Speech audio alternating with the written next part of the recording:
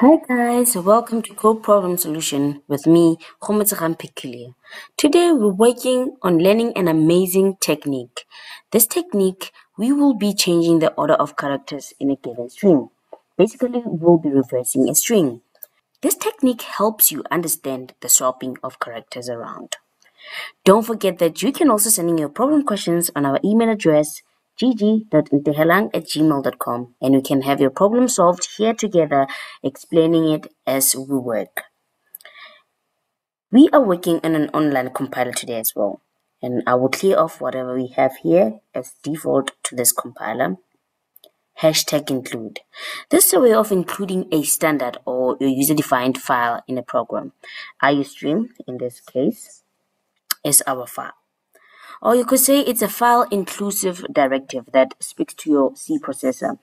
You see the file included here being your IOStream. So this hashtag include is read by the preprocessor and it instructs it to insert the content of whatever user-defined header file in our C++ program.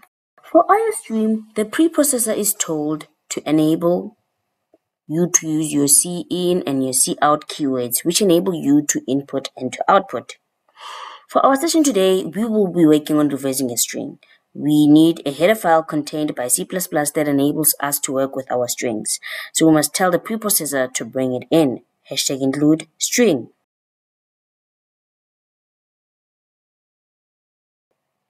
Using namespace, I have a video where I explained well in detail, but I'll just give a brief with an example. Suppose for this code session, we want to create a user-defined function and we call it game. But then the C++ has a C++ predefined keyword or a function which has the same name, game. The compiler gets confused as to which game is being called. Now to combat that, we use this using namespace std line. Great. Now to our driving function, the main function. For our session today, we are just reversing a word. And first thing to do before performing any operation is to declare the variables we will be using to hold whatever value in this code. The purpose of this session, we are prompting user for input of a string, and the string must be output as well, being reversed. So we need variables which will hold the input string and the output string. Now we have variables to hold whatever data is driven from this code. Let's get the input from the user to enable us to perform operations on it. cout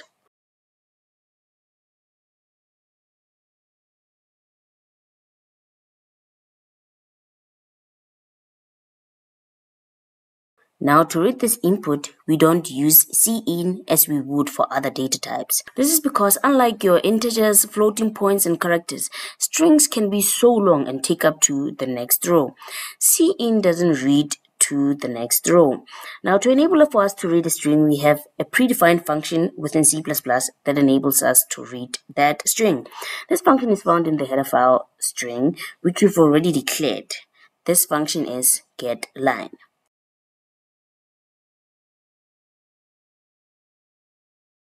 Great. Now we've prompted our user for input. Now to perform the reverse operations on this input. For the purpose of this code, we will use a user-defined function to reverse the string. To explain further on this user-defined content, this function is user-defined because we will create how the reversing happens.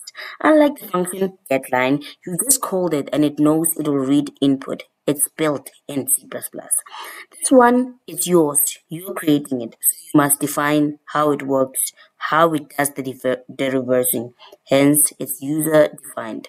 Now, just as before working with any other variable, you need to declare it first. That is the same with functions. Our function operates on a string and as such returns a string. And the name of the function with parentheses.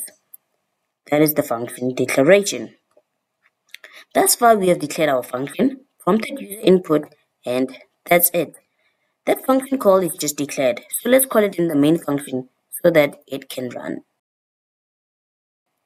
Now we'll be moving to this function to reverse our string, but we have not told it which string to reverse.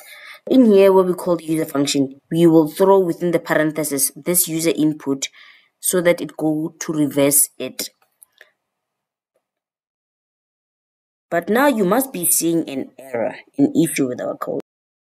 When we declared this function, we didn't tell it that in the parentheses there will be some data.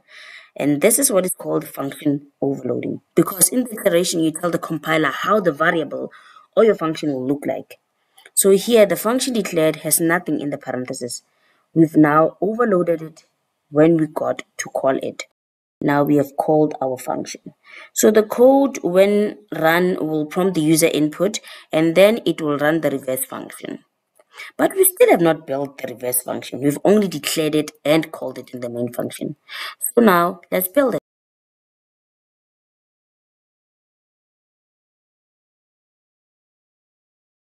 To avoid that overload on the declaration, we declare this input data type in the parentheses at the declaration as well.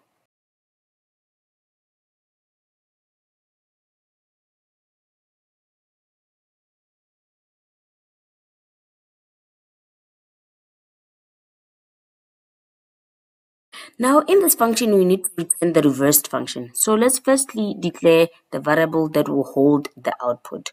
We already have the input declared in the parentheses and that's what the parenthesis is for, to hold your input. Now declare this output.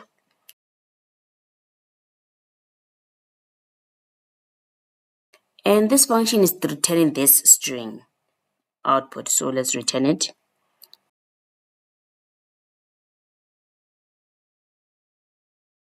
The real logic building begins.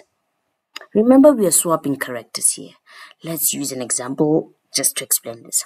Suppose we are reversing the string pass. We are going to read the length of the string and say, okay, word pass has letters length 4. Now let's count from letter 4. Now, now let's count from letter 4 and start storing the reversed string on this new variable. At letter 4, we have S and let's take this s and store it on the reversed string variable. We're decrementing the length and now at length 3 we have another s. Let's take this s and store it on the reversed string variable. We decrement the length and now we're at letter 2 we have an a. Let's take this a and store it on the reversed string variable. We decrement the length and now we're at letter 1 we have letter p Let's take this p and store it on the reversed string variable. Now we have our reverse string see SSAP reverse for pass. Now let's build the logic for this on code. We've already said we are counting from the last character to, of the string. C++ has already in it a user-defined function called length, and it reads the number of the characters. But now here's another thing to take note of. We are working with string, and just as if you were working with an array. Your character positions count starts from a zero. What do I mean by that? Suppose we have letter pass. The letter P is on position 0, and the letter A is on position 1, and the letter S is on position 2, and the last letter S is on position 3. Hmm. Meaning that whatever length you have, you will have to subtract it. You will have to subtract from it 1 so that you can read the specific letter accordingly. I hope you're still following.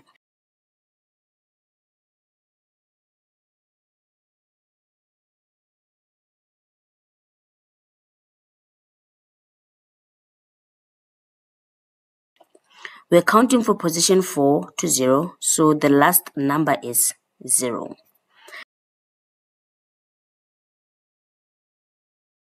And it's a decrement of the variable count. Now let's create the body of our loop. The reverse string will be stored on this variable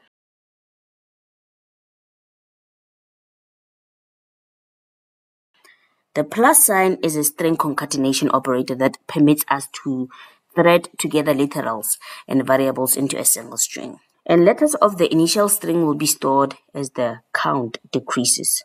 When length is 3, the letters stored here at length 2, the storing, length 1, and that of 0. And that is it.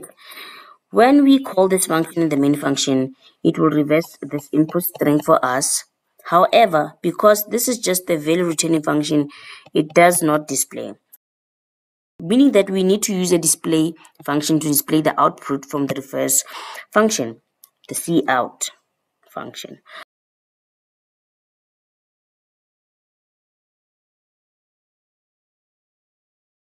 Alternatively, you can use this function call storing it on that user output declaration we have and cout that user output. Now let's run our code to test its correctness.